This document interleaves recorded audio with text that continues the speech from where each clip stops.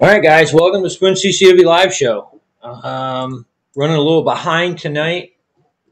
Uh, I got some good stuff for you. Obviously, show is brought to you by SphonsCCW.com and Minerva Sportsman's Club. Um, cool stuff that happened this week. Um, we got a pretty good class schedule coming up. Um, stuff starting to filter back into the store more and more. Um, we got we we were finally able to order some more some more nine mil stuff, um, some more five five six stuff. So that's working out pretty good. Um, so getting the store restocked. We've been really busy, kind of a little bit absent from uh, our social media accounts for the last couple weeks, but uh, at that time. yeah, we Uh, really just uh, been been really busy. So what do we got for uh, classes? Five seventeen, um, five spots left in that one. Um, Six fourteen, that one's open. Um, six six. Um, all these are concealed carry classes. So we got five seventeen, six six, and six fourteen for concealed carry all of them have slots in them. Um, I think I got to get 614 and 66 up on the website tonight, but we will get that up there. sure, six five sixteen. Yeah, that one's full. Full. Oh. Full. Um, Way full. 7 Eleven, personal protection in the home. Um, we have spots for that one. 712, personal protection in the home instructor. We have spots for that one if you're already a pistol instructor. 530 is basic rifle and carbine. Um, 531, as of today, we're still doing the rifle carbine instructor. We may have to move that off to the fall, depending upon class signups for that, because we got to have four but we will evaluate that later in the week. Um, anything else going on tonight? I think that's uh, pretty much it for the class schedule. Yeah. I- There's a bunch of bunch of people coming in and wanting classes and training and et cetera, et cetera. Um, of course, uh, defensive pistol classes, we got three in that for tomorrow and Sunday. Yeah. So, you know, but that's, you know, that's more than enough. So, Yep. yeah, we only do five in that, so that's plenty. yeah, Tough class. Um, yeah, it is. on the range tip, I, I looked at that that ace drill. Um, what do you got? 18 feet, six yards. So this this drill is uh, it's an eight inch circle, um, 18 feet, six yards from concealment. Shoot six rounds in six seconds. from from concealment draw. Um, yeah, All rounds have to land in the eight inch circle. Uh, it's a good drill. It's uh, Yeah, more challenging than it sounds on paper. Um, yeah. I mean- you, you bobble, you're you're done. yeah, you know, typical. You know, you're looking at you know if you're really know what you're doing, you know, you're going to be a couple seconds just drawing from concealment, hmm and depending upon where you're drawing, you know, where you're, you know, doing, you know, you look at you know speed times of you know some of the top, you know, I mean the top shooters in the world, they're just barely breaking sub second from uh, outside the waistband, nothing in the way rig. So Yeah. you know, If you can good, do it in under two seconds, you're doing really well. you know, so you're looking at more like three seconds just to draw, you know, to Yeah. draw. So now you got By the time you get one round on target, yeah. yeah, Yeah. draw Exactly. You know, draw from con- draw, draw from concealment, come out, acquire your sights, get your sights, get your you know get your sight alignment, sight picture, get the first round on target, and then you got six, you know, five more rounds to shoot. So In three Yeah. seconds. So in reality, In three you seconds. you got three to three and a half to four seconds if you're really pushing it so you know you're looking to at get you six know, rounds on. you're looking at half second splits. That's Yeah. yeah, That's doing pretty good. yeah, that's Um, doing real well. I mean, what what's this what's this good for? Uh, draw practice, obviously. Um, sight alignment, sight picture on the way out from your draw.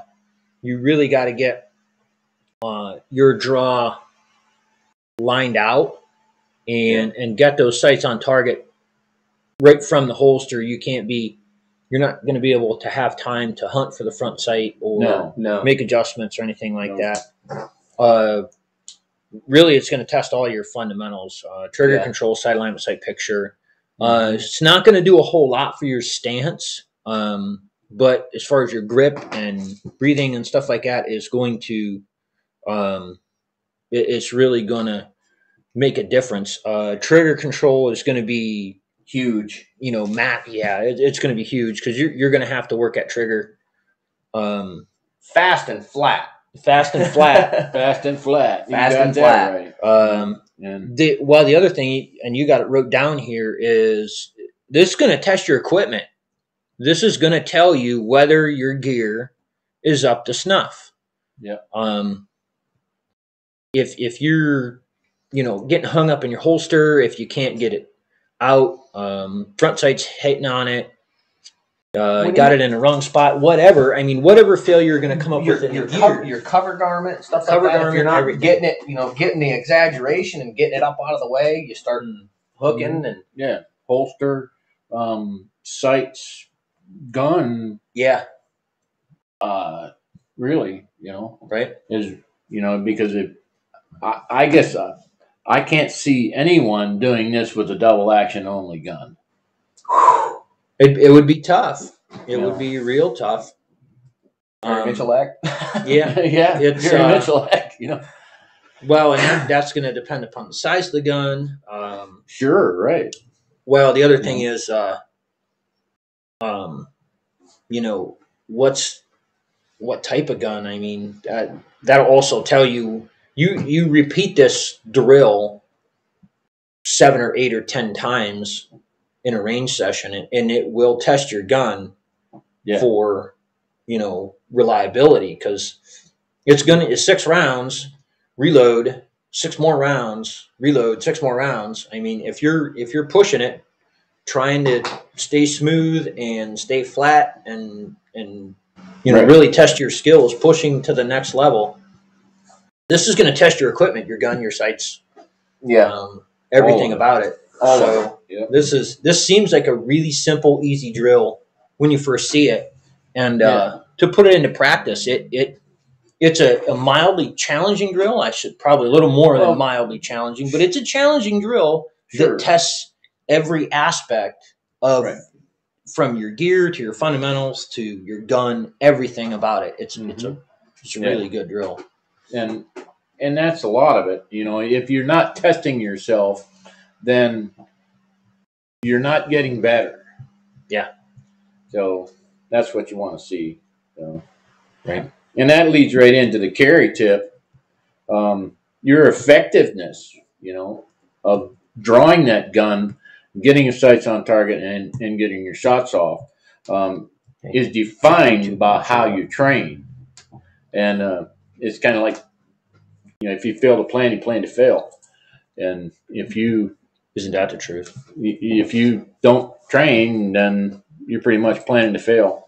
So you got to keep training even if it's just mindset um, you know draw stroke things like that dry fire et cetera et cetera. You know there's a lot of dry fire drills you can do inside um, when the weather's cold um, wet rainy snowy whatever you want and uh, but you got to remember if you need to if you need something like this ace drill and you get into a situation where you need that time and effectiveness and you don't do it beforehand you, you're not going to have a chance to do it then no, no. so you're done it's like putting your seatbelt on the wreck Yeah. you know so but Yeah. trying to get it on while yeah while you're wrecking. yeah trying to get a seatbelt on while you're wrecking Yeah. It's just not going to happen yeah So- it's not uh, it's not going to work out for you so anyway that's what we got for range tip and carry Yep. tip um, we're gonna we're gonna expand on the, the carry horizons with our video from this week. I, if you folks out there have seen it,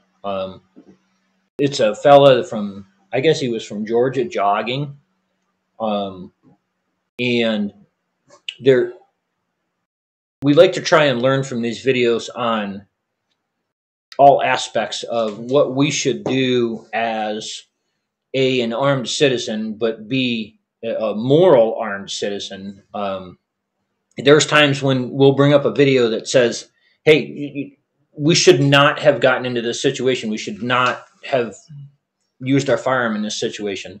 There's times when we bring up a video where somebody didn't use a firearm or didn't have one available or used less than stellar techniques, and we say they should have done this.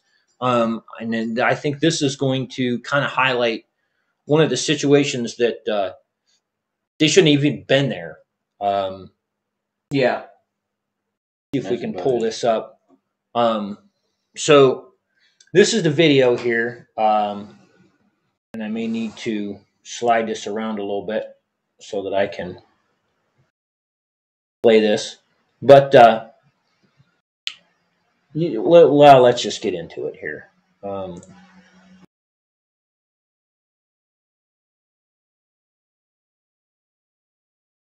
see if we're gonna actually play anything here. There we go. Here we go. There it goes. Yeah. So essentially, what we're seeing is a, a truck, and um, for whatever reason, I can't pause this. I want to go back. Um, so obviously, the individual in the truck is following this man here who's jogging. A little backstory behind this. I did as much research as I could find that was factual. Um, there's a lot of stuff about this video out there um, that really, really don't want to get into. We're looking for something factual and something that we know and can prove. So, the the backstory that I found that is as factual as we can state it is um, was there was there was robberies in this neighborhood, and for whatever reason, this fella was jogging in that neighborhood, and the pickup truck that's following them. I don't know if they were involved, but the pickup truck that is in the camera view right now, um, there's two gentlemen waiting for him. And what we're going to see is, and the camera is horrible. This guy comes up and he's trying to avoid this truck, right? We can see that. Now we see one armed individual here and this fella fighting with him over a shotgun. Well, here's the gig. Um, even if the guys in this in this pickup truck were right in their assumption that he had stolen something, you need to take the entire situation into account. you are dealing with a tangible tangible piece of personal property. There is no reason that we can ever think of to not only pursue somebody, um, but pursue somebody with deadly force over a tangible piece of personal property, um, especially after they have gotten out into the street. Yeah. Second thing that I was thinking on this was the man's jogging. He's wearing shorts and a t-shirt. What could he have possibly stolen that was worth anything? And he's hiding on his person. He's jogging. Where? What is he? Like, what's he got? Right. So now we have two armed men approaching this guy, and the the fella in the white t-shirt that was jogging, his response as he went around the truck and the guy pointed the shotgun at him was to go for the gun and try and defend himself. It's a perfectly reasonable response. Mm-hmm. Uh, a little more Yeah. backstory. One of the fellas out of the white pickup truck was a retired police officer. Um, so he should have known all of this beforehand. Uh, so as we can watch this progress, this guy, for whatever reason, takes aim at the person. We hear three shots from the shotgun, and he tries to run away and collapses. That's the end of the video. Okay. So when we start back here, we see as we come around the corner in the, this camera view, look how far away the the truck is from the person. Yeah. They they have no representation of fear of their life or great bodily harm. Yeah. They are the attacker in this Yep. situation. Even if the gentleman running had attacked one of them, that They, fight they're is still over. the antagonist. they have gone Yeah, if it was and done picked previous- another fight. Yeah, even if, it was, done, previously. previously. Right. Even if the fella had stolen something, it was done previous to this fight. There is no legal leg to stand on when you pursue anybody. Um, if this guy that was jogging was carrying one of their kids down the road, maybe they could have, you know, said, "Hey, he was trying to kid my, kidnap my kid," right? Mm-hmm. But that's not the case. No, he's jogging. He's jogging. He's out for a jog. This is not. Yeah. Uh, that's not legal. It's not justified. It's not moral. It- there- there's nothing about it that is going to stand up in the court of public opinion, the the court of morals, or the court of law. They have done lost all three of those at, at this particular point. Um, and there's there's a lot of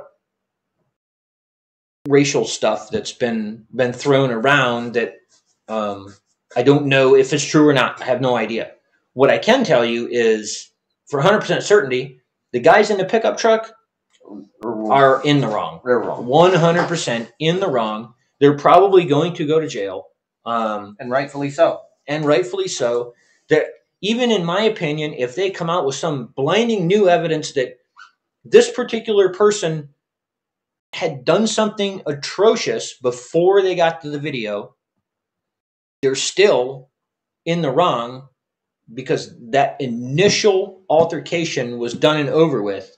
They should have called the police and dealt with it and let the police go and find this particular person. Yeah. That's right. I don't I, I can't Vig- vigilanteism. yeah, and, and I think that's what's happening. I just can't I can't put a piece of information in there in this particular situation that would say, okay, that would make sense. It it just doesn't. Um, this isn't something that a, a, a concealed carry or a licensed gun owner or anything like that. We, we need to know about this kind of stuff. We need to avoid this kind of thing. Apparently, tempers are flaring in that particular neighborhood. It's just Well, a sure bad they are, situation. That's no reason to chase somebody down and shoot him with a shotgun until he's dead. right? You know. Well, Because- and we talked about the gentleman that was in Dayton a while back that um, people were breaking into his shed and he went out there with a shotgun and ended up in a physical altercation with somebody who was bigger than him and defended himself with his handgun. Mhm. Um, and he was still in the wrong because he wasn't in danger while he was in his house. Right. Somebody was No. out stealing tangible personal property out of his shed Yep. that was not worth defending. Right. It really it wasn't worth a fight. Like call the insurance man. Have him write you a check. Yeah, it's I mean, you know, and, and stuff like that, especially in a shed. You got your lawnmower and a weed whacker and I don't know, maybe some tools.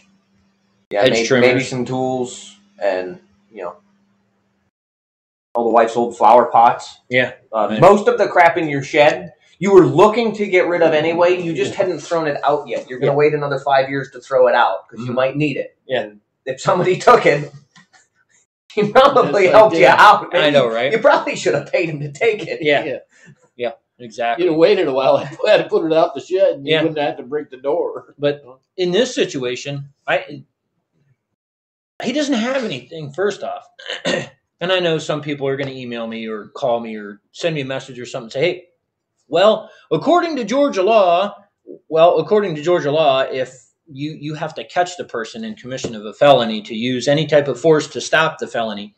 This guy wasn't in commission and nothing. He was running down the street. Yeah. Either it already happened or it never happened. So Right. Yeah. Yeah. I was out the window. Yep. Um, so this is something that um, is detrimental for the the good side of the gun community. It, It's detrimental for race Makes us all relations. look like whack jobs. It, it, it really does. It really, really, really does make us all look bad. And this is the kind of stuff that we want to avoid. Um, I mean, the, the- the man's dead over nothing. Yeah. Absolutely nothing. Right. Uh, so, on to the news. Um, we'll do stuff a little, little backwards. here. Yeah, well, here's the other part of it too.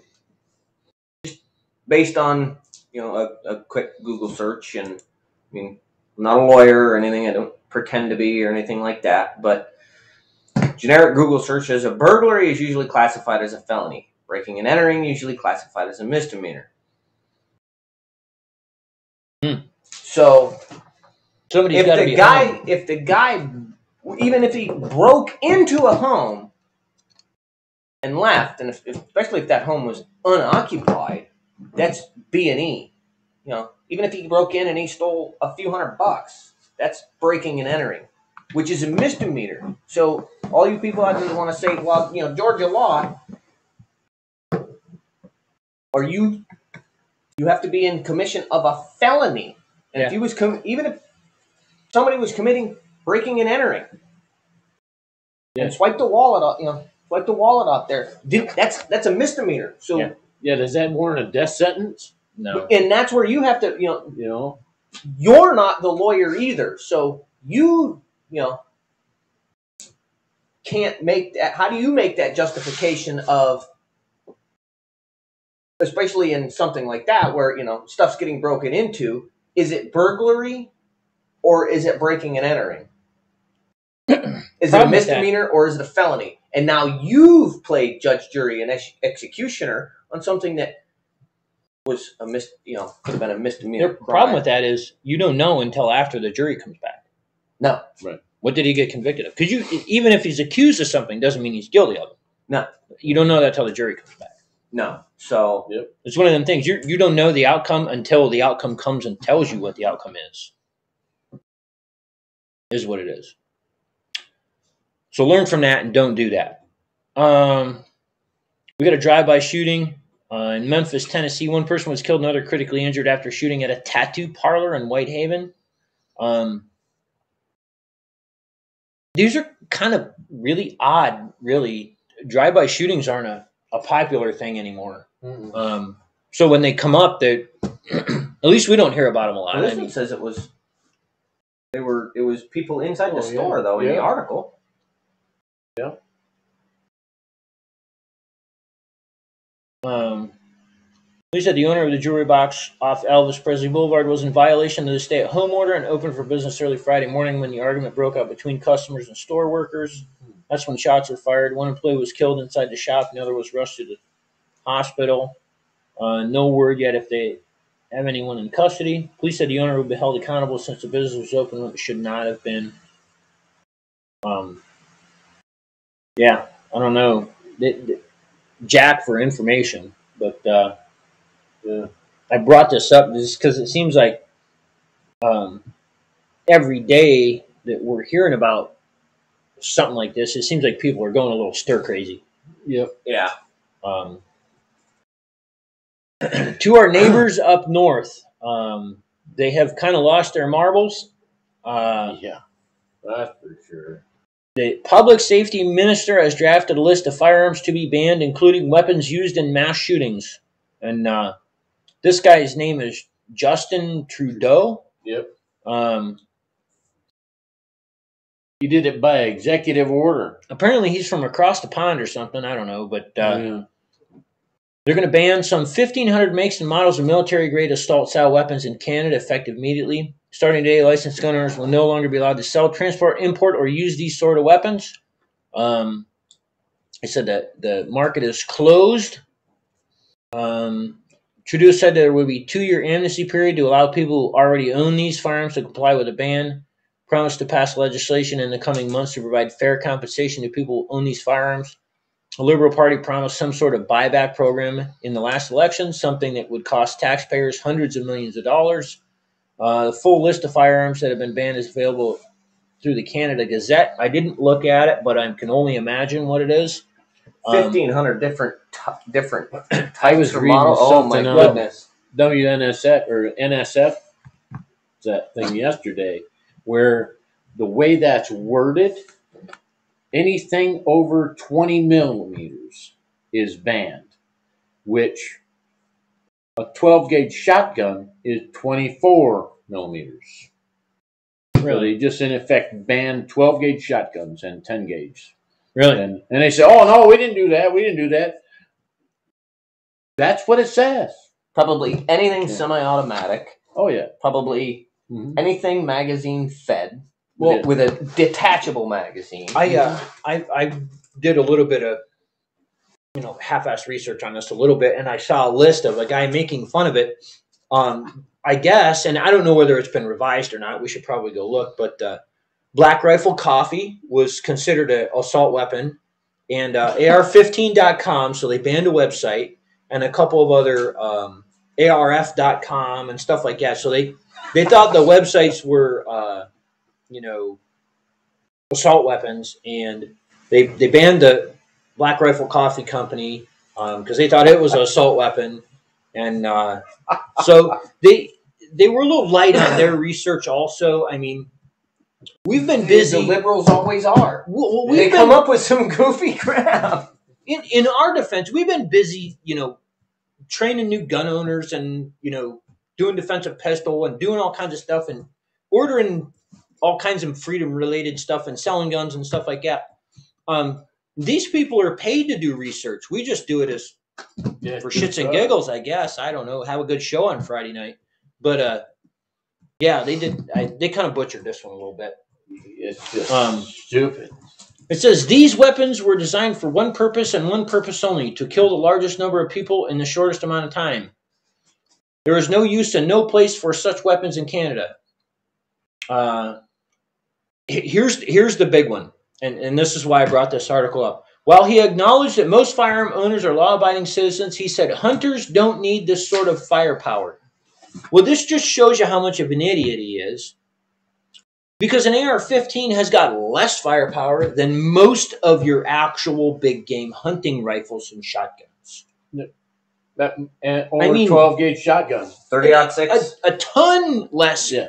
firepower. two two three. I mean, Yeah. Thirty out six. Mhm. It's just insane. yeah. Just insane. So I did, maybe maybe we should go to Canada and give Well- these guys a training class, And I and then they would know if we just did the ammunition fundamentals part of it, so they knew at least what calibers go where. They could figure it out because normally, when you're talking metallic cartridges, the bigger the number, the bigger the cartridge, right? I mean that's a pretty simple representation. It's backwards with shotguns, but Yeah. we wouldn't tell them that either. So well, and and part of it, you know, it's hard to you know not maybe get a little tinfoil hatty and you know. Despite everybody's, you know, arguments, and they always try to throw that argument in there. Well, you know, oh, well, hunters. Well, well, some of these guns, maybe I'm not have for hunting. It's part of that whole, you know, defend against tyranny part of that, you know, you know of the Mhm. Second Amendment in the Constitution, and well, but Canada doesn't have that. But No. but you know, it, it- especially you know down you know here, like it's hard to get a little tinfoil hatty of, well, this is their last step towards getting rid of all the firearms so they Yeah. can bring in their socialist wave. Yeah. And I know that or you know, make that guy king. You know. Yeah, it's, it makes you wonder yeah, sometimes. You know, you wonder, oh, oh man, these Well, people still the- these people still got them. We're scared of them. Well, we got Here's now we got laws to get rid of them. Here's the, uh, the the thing that we see a ton of times over and over and over, even in this country. You don't need an AR-15 to bring down a deer. I do. Well, In Ohio, I have an AR-15 in 350 Legend. yeah, because it's a straight wall cartridge, and because I'm not allowed to use the 556 tapered cartridge because it it's was- too small. because it's too small and it's tapered. Because the state won't allow me to, I built one in 350 Legend. That is what I have to use to bring down a deer. Yeah. So, kaput to your argument, bud. Well, there you go. I was gonna say, well, that an AR-15 is kind of a crappy deer rifle in 223 because it don't have enough power. no, I mean, it'll work, but it's always better to have them. I mean, it's a little more, you know, it's a lot more accurate than a 12 gauge. So I guess you could count Yeah. on the accuracy to maybe get Right. headshots with a, a BB gun. But if I'm pulling a trailer, I'd rather do it with an F three fifty than a Cavalier. So I mean, there's also that argument. it's true. Generally speaking, an assault style weapon is a semi-automatic firearm with an ammunition magazine built to fire quickly. Um, we skipped over the part that said that there's no legal definition in Canada of assault weapon or military Well, style. they're gonna they're gonna have to define that. Yeah, Yep. right. Well, All they Canadians- just did. Semi-automatic and magazine fed. All Yeah. Canadians must be in compliance with the law by April 2022. Um, there's an amnesty period. The government official speaking on a background of the technical brief for journalists said the number of these now banned firearms currently in circulation is unknown. There are 105,000 firearms currently classified as restricted that will now be classified as prohibited. Principal models M16, AR 10, and AR 15 rifles and M4 carbines. Ooh, I'm gonna buy a CAR 15. well, The this isn't V- an exhaustive list. Oh, the old Vietnam era little stubby AR. Yeah. A Ruger Mini 14, U.S. rifle M14. That's a 308. It only holds like 10 rounds. VZ 58 and VZ 858. Those are AK 47s. Robinson Armament XCR. CZ Scorpion Evo 3 carbine and pistol. Let's get an Evo 2. Uh, I don't even know if they make an Evo 2. Beretta CX4 Storm. Sig Sauer, Sig MCX, Sig Sauer, Sig MPX carbines and pistols. Swiss Arms Classic Green and Four Seasons Series rifles. Government officials said that at the end of the two-year amnesty, gunners must dispose of it. Uh, today's ban does not cover handguns, the weapons of choice for gang members. Blair promised Friday to enact legislation down the line to give municipalities the power to, to ban these firearms. Well, handguns in Canada are tough to begin with anyway. Uh, the firearms ban comes less than two weeks after Nova Scotia gun massacre. But this guy run around with a shotgun for like two days, right? I think we did that a couple weeks ago. They burned his own house. He had a death wish. They didn't. He, he committed suicide by cop. anyway, So we're gonna burn a house down and ban AR-15s. Yeah, right? this makes a lot of sense. it was an excuse. Um, and the rest of this is a bunch of garbage. A bunch of crap about. He used illegal firearms. Well, no kidding, they always do. It's just a bunch of garbage. So, our to our brothers and, and sisters in Canada, hopefully you can get a somebody other than this dude to represent you, and maybe I don't know, maybe you can get somebody to uh, you know go up against this or something. Do something. Well, here I think he's the one that already had him, already convinced all the government officials, this Trudeau, that he should be able to run for a third term too. So, Oh, really? so yeah, and so. Hmm. Just like Bloomberg did in New York City. Yeah. Well, um, so north of the border, they're having a little trouble. South of the border, here in Massachusetts, the judge orders the reopening of gun sales in Massachusetts. Um, U.S. District Judge Douglas Woodlock has held that the closing of gun stores, part of a broader closing of many businesses, was an improper burden on Second Amendment rights. The judge said he would direct the state to allow firearm retailers to reopen by noon on Saturday under a series of restrictions meant to promote cleanliness and social distancing. Lawyer for the state indicated it may appeal. The story is based on Woodlock's oral statement from the bench, but I expect there will be a written order shortly. I hope to blog it out then. Thanks to commenter Dr. Ed for the pointer. Here's the order. Following two hearings, uh, May 4th, 2020, regarding the plaintiff's request for interlocutory injunctive relief. I had never heard of that word before.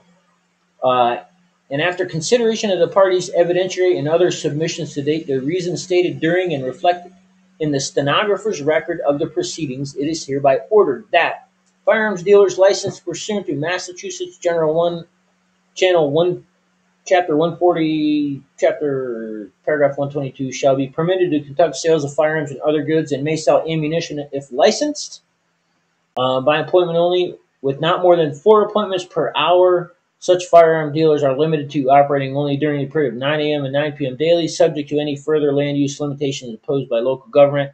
Uh, firearms dealers subject to shall ensure the following proper social distancing, ensuring all employees and customers cover their noses and mouths with mask or cloth face covering, allowing access to hand washing facilities, providing alcohol based wipes, establishing procedures to ensure customers remain at least six feet apart, providing full or partial glass or plastic barriers, establishing procedures to sanitize frequent touch points throughout the day, establishing procedures to sanitize merchandise, establishing procedures to sanitize any merchandise handled by customers.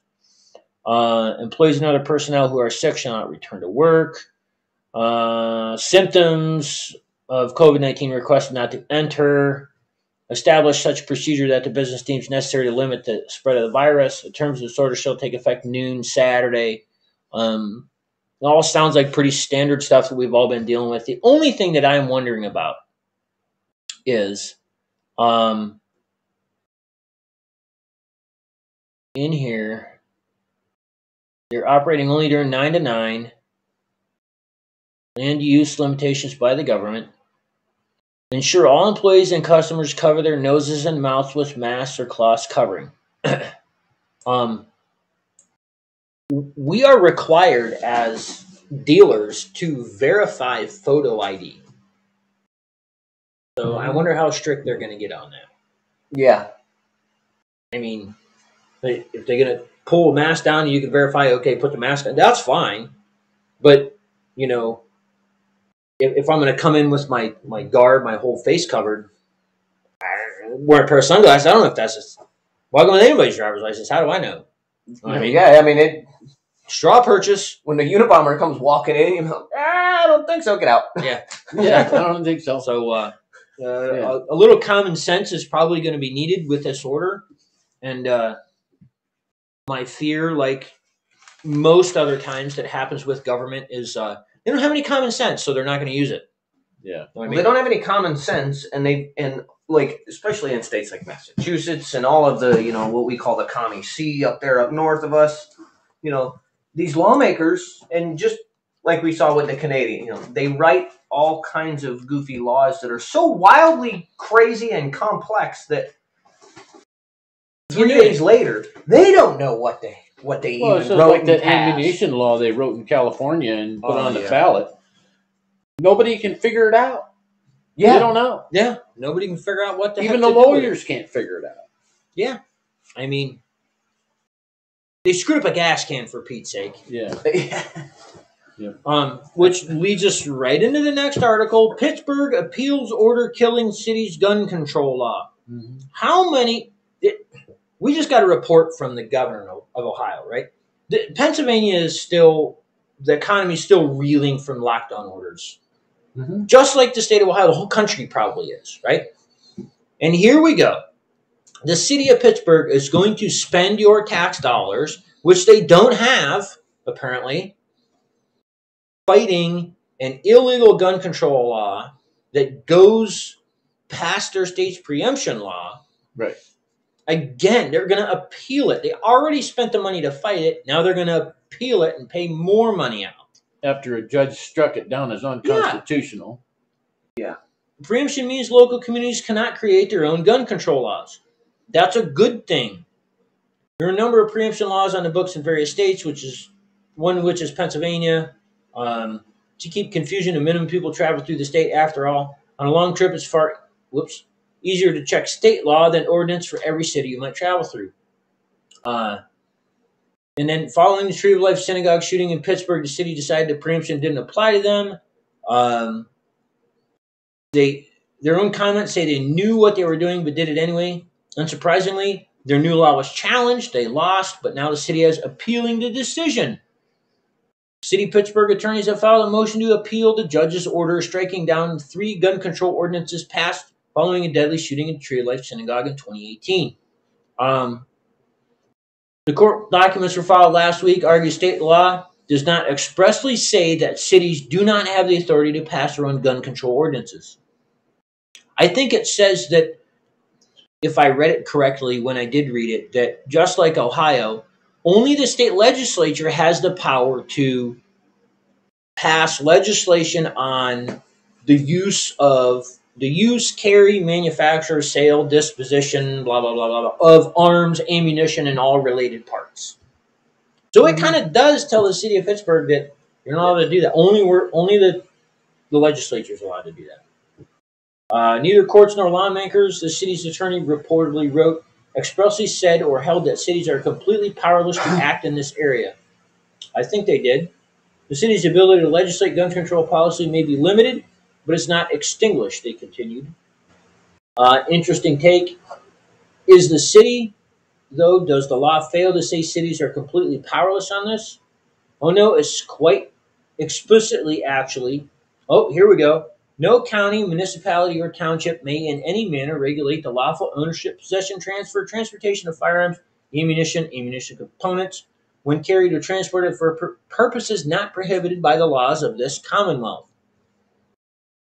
That's pretty simple. That's pretty simple. Yeah. Even we're not lawyers, and I can say I can tell you what that says. Hmm. You can't do that. The only thing that's that's missing in here is use. I'd put use in there. Yeah. But There you go. and it says right here, I'm not a lawyer. Down below, sure they can regulate the use of weapons. Yeah.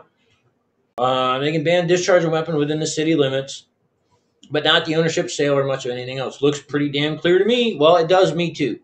Uh, the city's appealing the ruling, thus wasting more taxpayer dollars on a lost cause. They won't win, not if the ruling is based on the law itself. Uh, unfortunately, we can't rule out what happening by any stretch. Instead, we can only hope that the courts follow the law and not public opinion moving forward. Well, I don't know the city of Pittsburgh. I don't think the public opinion is that they actually want this. I think this is legislators overstepping their bounds. Yeah. And that's it is what it is. Um so some cool stuff. Five subtle gun storage tactics for home or car. We talk about this kind of stuff a lot. Um, sometimes the best way to hide something is right there in plain sight. Um, I don't know what this thing is, but it looks pretty cool to me. I want to investigate it. um, knock at the door when you're sleeping. I don't think I'm going to read this whole article. Here's five innovative products to get you started. Go magnets, gun mounts. Um, I'm not a super fan of magnets because anybody can just walk up and grab it. But if it's hidden in the right spot, it can be useful depending upon your situation. Um, this thing here, Reach by Vara. Uh, it looks like any gun safe you've seen before, but this one, although you can see the outline of the handgun, the only person who can get that gun is the one whose stun point is programmed in. Well, that's pretty cool. Um, the safe is simple to install and go in your car, bedside table. You're only limited by your imagination your situation.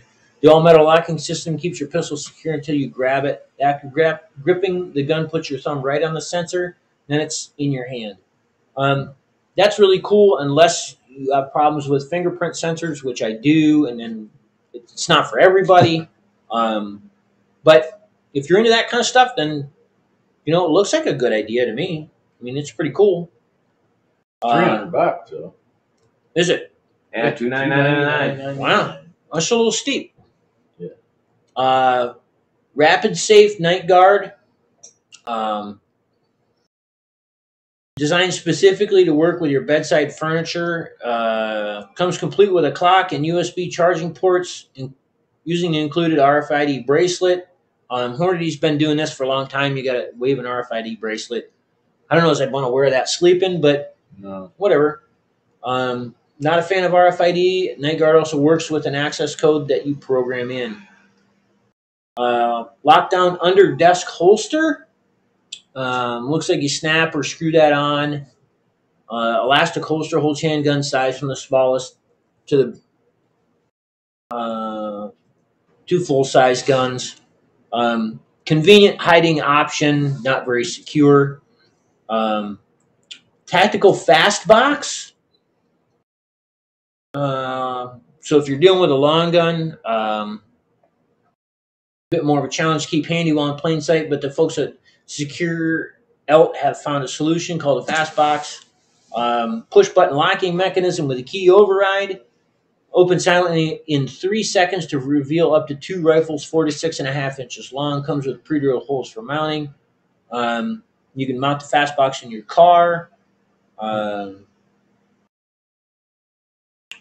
That's kind of cool. yeah, I mean, it, we're always looking for neat kind of stuff to to store things in in either sensitive or odd locations. Um, there, everybody's life situation is a little different, so you might want something home office. I don't know. I still want the one that comes out of the back of the hutch. Oh yeah, that'd be really cool. That'd be awesome. Uh, Your mother says no. Why not? I, I think it's cool. Maybe we should talk her into it. Yeah. But anyway, um, so there. I mean, there's just a ton of products out there that you can go to and find, and internet's a powerful tool when it comes to that kind of stuff. They make some neat stuff. They make some pricey stuff. They make some simple stuff. Um, Yeah, you You can find it from five bucks to five thousand bucks. yeah, You know, Oh yeah. you Yeah. Oh yeah. Just like the you know anything. any kind of safes, you know. You look- right. No doubt about it. That is what it. I mean, cool stuff. All right, what do we got for product of the week? We got tactical handgun mag can. There we go. These are all MTM products. Ding, ding, Tactical dong, mag cans. This is a tactical mag can for 223 556 magazines. You want to see inside there? Set up for magazines, loaded or unloaded. And uh, standard 50 caliber ammo can in it. Um, nice, nice thing about I think those are a little. I, They're a these little are bigger. bigger. them are, li- them Bigger bigger than than a 50 50 cal. cal, These yeah. are roughly about a 30 cal. Yeah. Um, we've said this before when we've you know, kind of looked, showed over some MTM products of uh, made in the USA, and uh, yeah, you might be able to see it back. Let's break everything. Made in the USA, and for those of you watching in your home state, in our home state here of Ohio, They are made in Dayton. they are made in Dayton, Ohio. So, with everything going on, you can you know start buying some MTM products. Buy American, man. Well, we're gonna be you're gonna be not only are you gonna be buying American, you're gonna be buying within the state, and uh, everything that's been going on, bringing that money back into the state. That, that's in sure going to help state, some and folks. keeping keeping keeping our money in this state to help everybody out. Absolutely. So. Um, This one here holds 10 double stack mag, uh, handgun magazines and 10 30 round AR 15 magazines. So, And they got nice, These are pretty cool. nice, nice heavy foam. Yeah. And we've talked about MTM products before. I mean, it, it comes with three locking points on this box. Um, they're O-ring sealed. They're waterproof. I gotta. They're darn near indestructible. I mean, these things will take abuse that you would not expect from plastic. yeah. I don't know what kind of unobtainium they make these things from, but I dropped a 30 cal one of these full of 40 out of my truck. It did not come open and it scratched the bottom of it a little bit. Oh, I've got a one of their old Sportsman's dry boxes Yeah. that I've Which had I think is actually this can. Eh, I, the lid is a little different, th- but it's just mine. But mine is twenty-ish year, twenty plus years old. Yeah, Um, I got one of them. still doesn't get wet. 15 years old. Um, I have literally filled it to the brim with seven six two thirty nine, and was scared to pick it up because I thought there's no way that handle's going to stay on there. So before I moved it, I went and put my steel toe boots on and picked it up and went from the basement upstairs and out to my truck to go, you know, lighten it a little and the hand it was bending and it was bowing and I was worried about it and it didn't give up. Well, I, I did find I did find one thing that that will happen to an MTM can. Um, if you fill and you got to pack it in there pretty tight, you can get about 850 40 Smith and Wesson cartridges in a 30 cal MTM ammo can. If you drop it from about three and a half feet out of your one ton truck, and the handle flips up. If it hits your running board just right and catches on it, it will unclip the handle from the snaps in which it is put into and then fall to the ground. But you can then take the handle and snap it back in the box and pick the can up, still loaded because it didn't, doesn't come open. So we'll take the handle off, but the can weighs about 45 pounds. Yeah, exactly. Um, we did do this. yeah, and I think that insert's actually Just glue No, it they're in. glued in. yeah, They- they glue them glued in. in So it's that good. You know, it's high density foam. Yeah, good oh, stuff. Good The stuff. MTM makes good stuff. These the we all got MTM stuff. Yeah, and it, Some of here- here's favorite another here's another thing too that you know we're kind of forgetting to mention. padlock. They got holes in them for padlocks, and actually, I I do that if I'm gonna be doing a you know if we're doing a class or something like that, and I'm bringing you know multiple pistols. I can. I'm gonna leave them. You know, I'm gonna have to you know leave them in my vehicle for a little while, or where you know come in here or something like that. I can padlock all that stuff up. Yeah. and you- you can padlock ammo cans. So if you're, you know, if you're traveling, you know, maybe you're traveling to take a training class, and um, you want to go, you know, you're gonna, you know, you're gonna be staying in a hotel. You do all that stuff. You know, you might, you know, you bring your guns in the hotel, but you don't want to carry. You know, they look at you kind of weird. You start dragging all that ammo in, and ob, you know, pretty obvious ammo cans.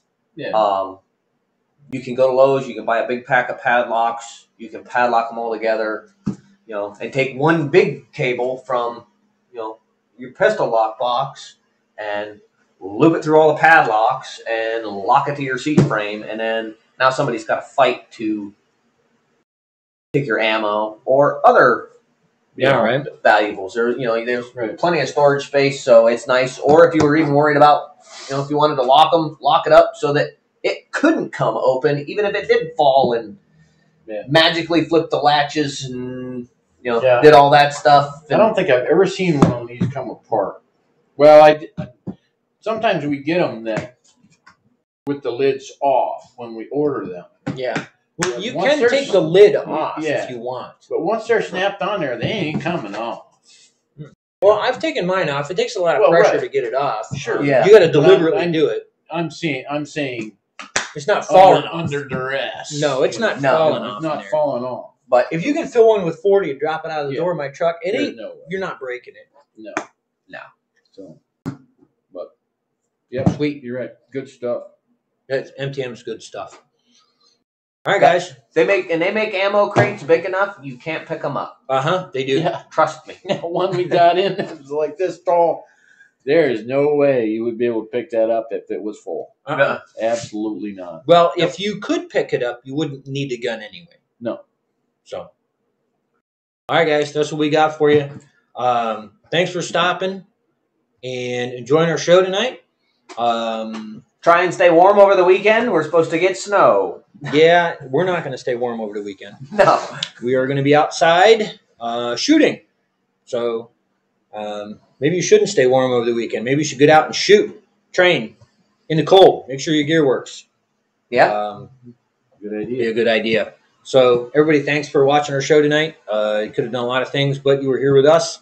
And uh, hopefully, everybody has a good and safe weekend. Um, enjoy it, and we will see you back here next week. And uh, don't forget to like, subscribe, share on our Facebook page and our YouTube channel. Sure. Always. Good night, guys.